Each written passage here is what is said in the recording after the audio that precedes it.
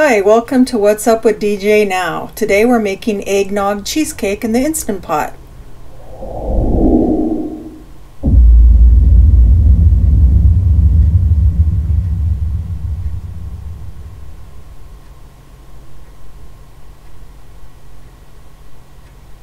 Okay, let's get started. Here's some of the supplies I'll be using today.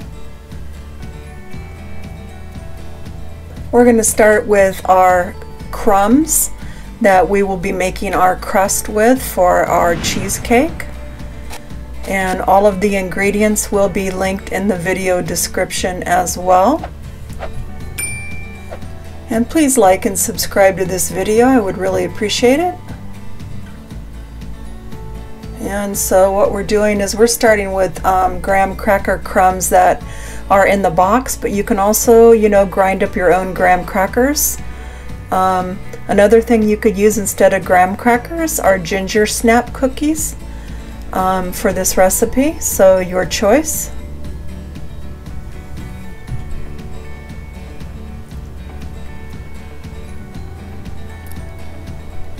And this bowl was kind of small, so I just decided to go ahead and dump it into the pan and finish mixing it in there. Uh, I used a little bit too small of a bowl to try and mix it up, but you can mix it right in the pan too. That works fine. I'm using a 7 inch springform pan. Also will be linked in the video description.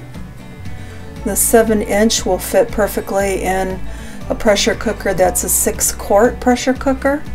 So if you do want to do some cheesecakes, I suggest you get a nice 7 inch pan.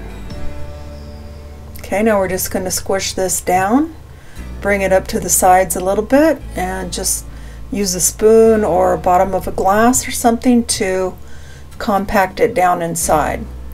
Now we're going to set that aside and we'll get on with our batter. We're starting with two room temperature 8 ounce blocks of cream cheese. You want to make sure and set out your eggs and your cream cheese at room temperature for about an hour before you do your cheesecake.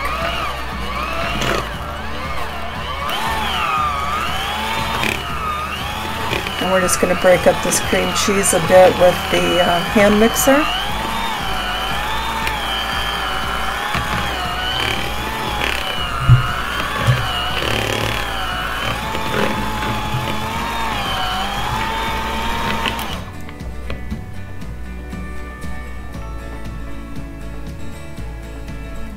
And now we're going to go ahead and add two large eggs.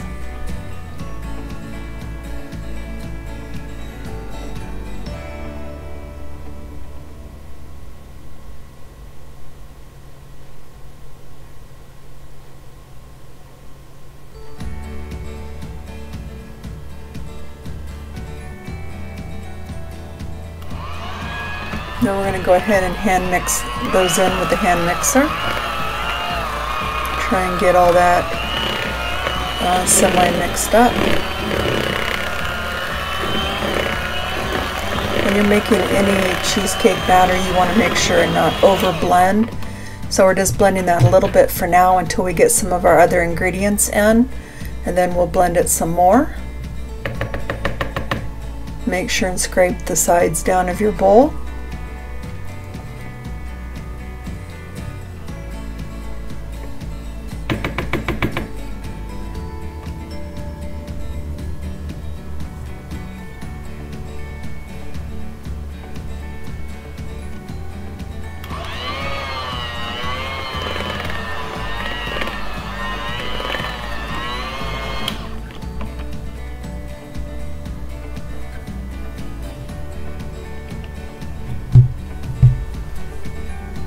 And next will be one half a cup of sugar.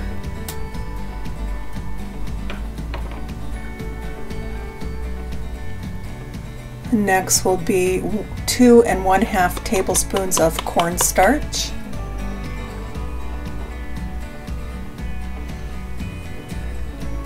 One half a teaspoon of cinnamon.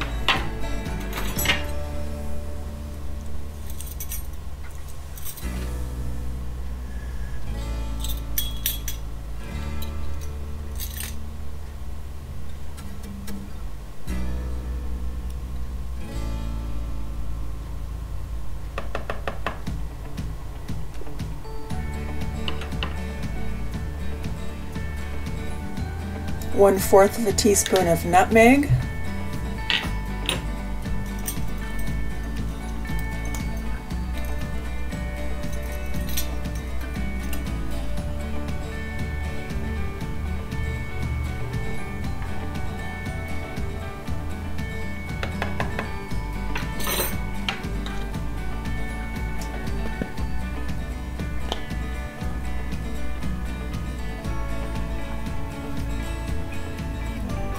Okay, now I'm going to be using real rum because I did not have rum extract, but you can use rum extract or real rum. There is a shortage right now on rum extracts in the store. So you can Google the ratio if your one of your recipes does ask for rum extract, you can always use real rum. And I used one and a half tablespoons.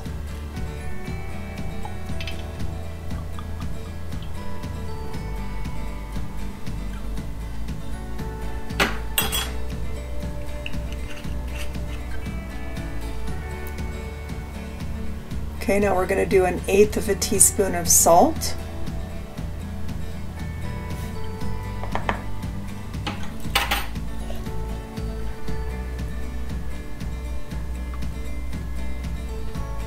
Then we'll go ahead and mix this up.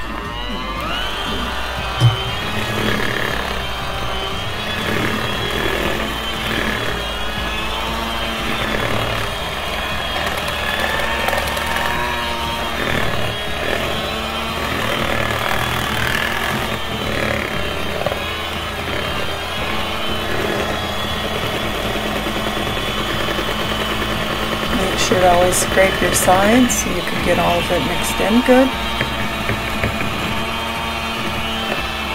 I was trying to do it while I was still holding onto the mixer. It was too hard.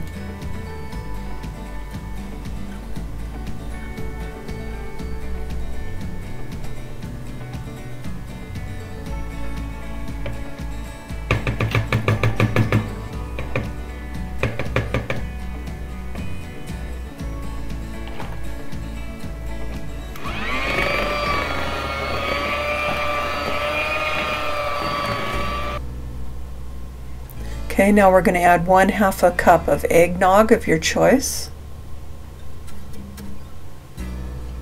meaning whatever brand that you want.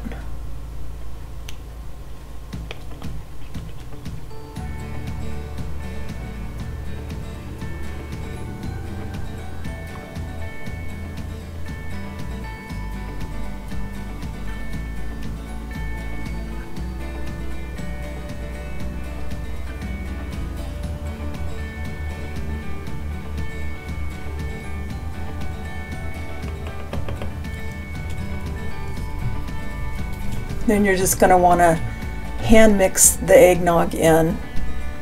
Again, not, you know, you don't want to over mix it, you just want to get it incorporated well. Where it comes to a batter like this.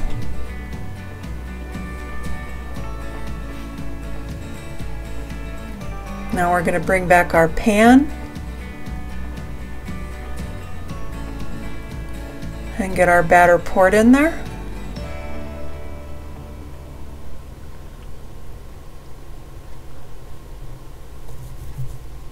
This will fill right to the top. So like I said, a seven inch pan will make you a nice, thick, you know, cheesecake.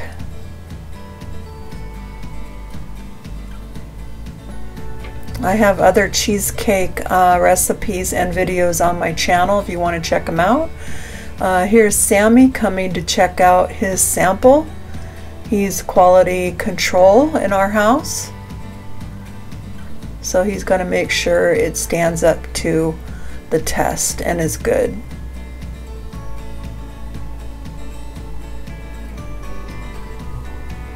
Okay, now let's get our pot ready and our trivet.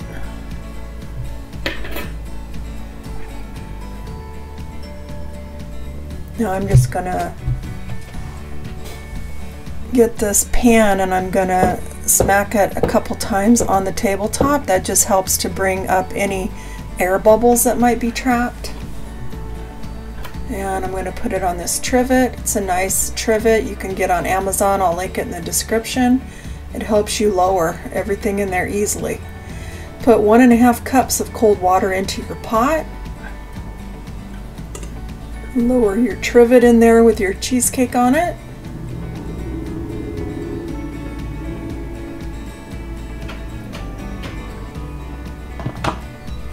Get our lid on. Now my lid seals automatically for the model I have, which I'm showing you, but if yours doesn't, you need to make sure and seal your valve. Now we're going to come to the front and we're going to set this for pressure cook on more and high and we're going to set this for 29 minutes. And turn off your keep warm because when it's done we don't want it to keep warm. And again more and high on pressure cook. It's going to beep it's going to come on. It's going to come to pressure. You're going to let this cook for 29 minutes and do a natural release for additional 20 minutes Okay, now we're back. Now we're going to push our release button, but there is no pressure left because it did do a natural release. And we're going to open this slowly.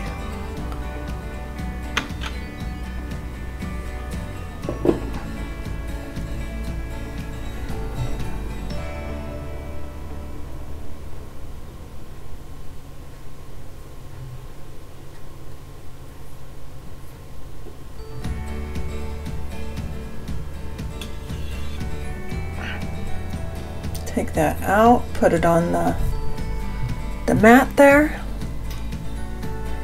Now it's natural for it to have some wetness, condensation on top. You're just going to take a paper towel and gently dab it to get that extra moisture off the top.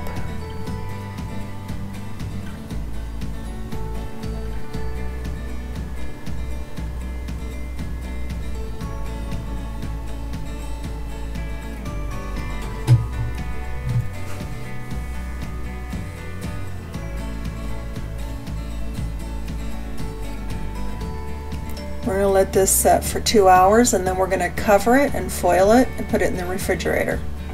Okay, now I let mine go for 24 hours. This is the next day and I'm going to be opening it and getting it decorated up. And we're going to slice it up and have a taste.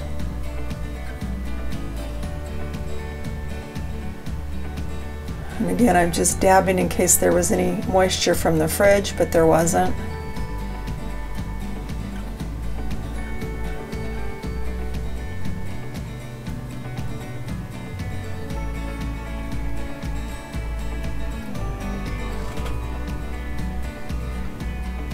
I'm going to use some cinnamon and kind of garnish on the top for taste and for decoration.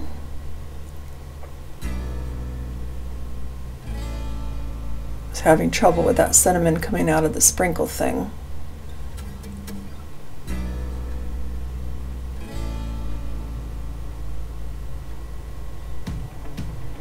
I'm just using uh, the regular Reddi-wip in a can.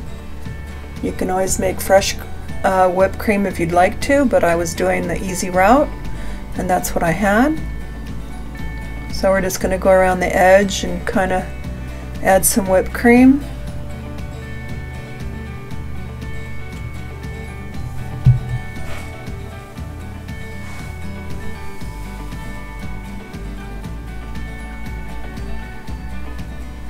And then there's our finished cheesecake decorated.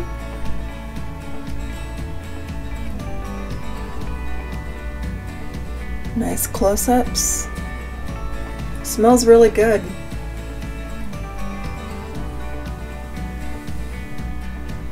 Looks quite cute, if I might say so myself.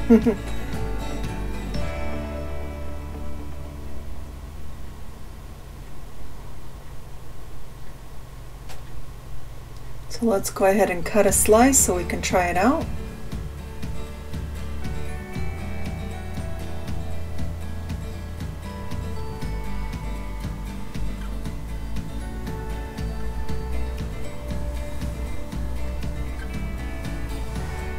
It's a nice, firm, thick cheesecake. Let's have a look up close. You can see all the specks in it of the nutmeg and the cinnamon.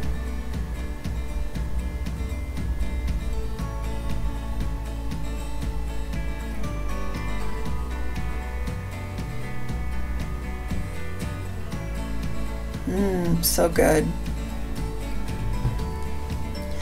But I want to thank you guys for watching my video. If you'd like the video and subscribe, I would appreciate it. I'm going to link things in the description, the recipe, and some other things I used in the video. Here's some final pictures. I do have a Facebook group I'm also going to link. But at any rate, thank you for watching my video. And I hope you enjoyed it and I hope you'll try it. Thank you. You all have a great day. Bye-bye.